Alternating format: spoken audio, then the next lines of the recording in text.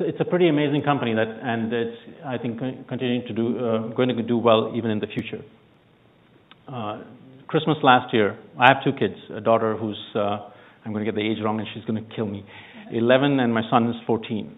My daughter is a huge Harry Potter fan, so her Christmas list included the Hermione wand, the goggle and the glasses, the cape, and a poster, nine and three three quarters, which is the platform between nine and 10, which is how you get into Hogwarts. You learn these things when you have kids. And I wanted to be... And my kids have only two ranking: You're either the greatest dad if you fulfill their wishes, or you're the worst dad in the world if you don't. Three days before Christmas, I am on Amazon.com because I think everything in the world can be purchased on Amazon.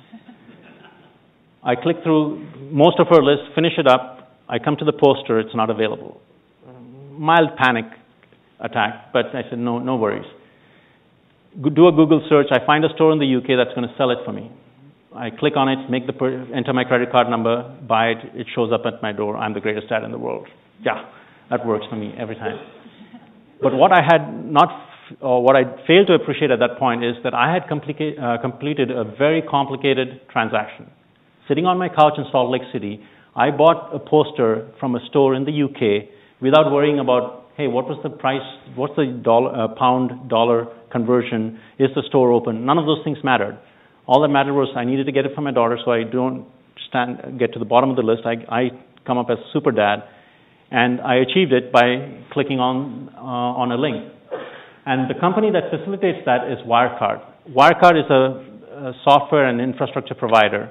So every time you get on the internet and you want to buy goods and services, there's somebody like this in the back making sure that it all happens. We don't even think twice about it. We, when we click, we want things to happen. It has to be seamless. But it's companies like Wirecard that basically uh, enable that. These are slides that talk about the opportunity for Wirecard. You know, you can see that the global e-payment um, transactions are growing pretty fast. The other stat that is not obvious uh, through these slides is that the next leg of growth for them is coming in Asia. They have uh, made acquisitions in Singapore, in Thailand, uh, in Indonesia, and they are the only non-Chinese company to get permission to be listed as an acquirer in China. So they are the only non-Chinese company that can acquire uh, customers in China. That is a huge opportunity, and that's going to be where you're gonna see the next leg of growth. So we've talked about the themes that here of consumption and you know, whether it be luxury goods or you know, some uh, the internet, which is is uh, is basically a big driver of change. You know, we talk about the pace of change, and the reason I think the change happens so fast is because of the the internet. That's one of the reasons. But if you go around the world, there are still some countries where the the basic services are missing. Would it shock you if I told you that 70 million of people in Brazil, of a population of 190 million, do not have a bank account? Would it shock you if I said 40% of the population in India have never used financial services? Now, think about that number for a second. 40% of 1.2 billion, that is almost 500 million people, they don't know what a bank is. If you, the uh, World Economic Forum did a study late last year. Actually, it was McKinsey who did it for them, I think, but they're taking credit for it. But one of the areas of growth that they see going forward is financial services.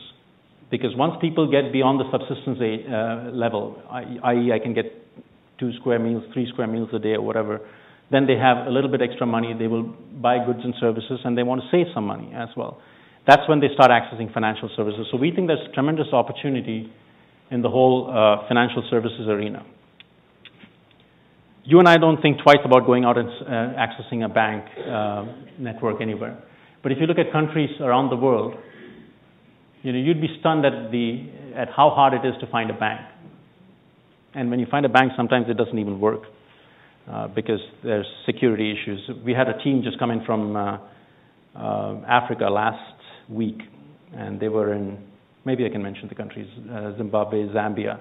And they said, "You'd be surprised at how scary some of these places are." I mean, it just is. It seems like it's from Mad Max. But that's the ground reality. But there is a tremendous opportunity for companies who are willing to exploit that. I'll give you another story. I was in India last year, fall of last year. again, doing the usual thing, visiting companies. I had a transaction with one of the brokers who was helping us, uh, helping manage the trip. Uh, turned out I owed him some money. I said, okay, why don't you point me to an ATM and then I'll go withdraw the cash. And he looks at me like I had two heads. and I said, that's not a stupid question. You know, you show me an ATM, I'll withdraw the cash and I'll give it to you. He said, but you have a phone. Why don't you use that? So then I'm looking at him like he has two heads. But turns out in, in India, some of these banks have a service where I can generate a PIN on the fly. If I owe you money, I generate a PIN, I send it to your phone. You can take that PIN, go to any ATM, and withdraw the cash at your leisure. So we've completed a cashless transaction. So while they're accessing basic financial services, they're accessing it in a very innovative fashion. And that's what we look for. We want to find companies that are interesting, that are doing, solving problems, but doing it in an innovative fashion, innovative and interesting because we think that's a sustainable competitive advantage for companies. So, with that backdrop, one of the names that we invest in is IndusInd Bank, and they're one of the companies that provides that service. They're one of uh, the premier banks in India. Small bank, you know, only 400 branches, but growing really fast. Extremely focused on the risk aspect of the business. You know, we've met with the management teams uh, several times, and they want to focus on the quality of the loans they lend. Anybody can lend money. I could stand on the street corner and rack up tremendous amount of growth. The question is, can I collect? So it's interesting that people lose sight of that. They, they think growth of, uh, you know, of your loan portfolio is what is important. No, it's, you know, can you collect it at the end of the day? And, and they are very focused on that. And so we're, we're quite pleased to have this company in our portfolio.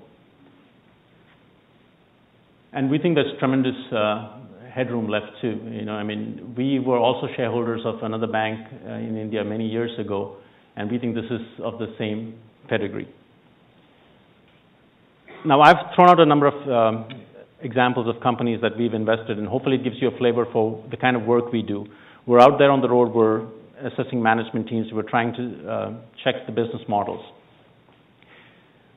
One of the comments I often hear when we do presentations for consultants or potential clients is that international investing has got to be uh, risky. You know, you're finding you're finding investments in Zimbabwe, South Africa, India, Pakistan. These places are going to blow up. I mean, it's got to be a riskier market. Well, the empirical evidence goes against that. If you look at this chart really quickly, what it tells you is that if you invested in the frontier markets, that was point, has a beta of 0.56, which means it's about half as risky or volatile as the S&P 500. Not something that is intuitive to me. If I did not know anything, and 20 years ago, if you'd asked me this question, I said, no, no way, it's not possible. But the reality is that it is less riskier than the S&P 500. The same with the emerging market small cap. So you can, my point is that you can invest in these international markets, and you don't have to assume that you're taking on higher risk. This, this to me, is, is a, a revelation. Uh, most people would, if you sight unseen, even finance professionals, if you ask them, most of them would say, no, I think it's going to be riskier. At least as risky as the US market, if not riskier. And the evidence is quite to the contrary. So I think that's uh, what we try and exploit when we create a portfolio, uh, is we try and invest in these different countries. And, and then you think about it and say, why is, that, why is that possible? Well, if you think about a consumer in China and a consumer in Indonesia or in India or Turkey or Brazil, well, their behavior is very dif- different and independent of what happens in each country. Now, if you own global cyclicals, they will all move in sync. Yes, if you own a coal company, or if you buy Foxconn, which manufactures iPads, which is sold to the developed world, yeah, those are companies that are going to be correlated. But if you find small, interesting companies like a Coca-Cola İçecek, or a Wirecard, or a Ferragamo, that has unique trends and uh, that benefit them, then they will move independent of each other. And that's what we try to do. And that's why I think you can build a portfolio with really low correlation.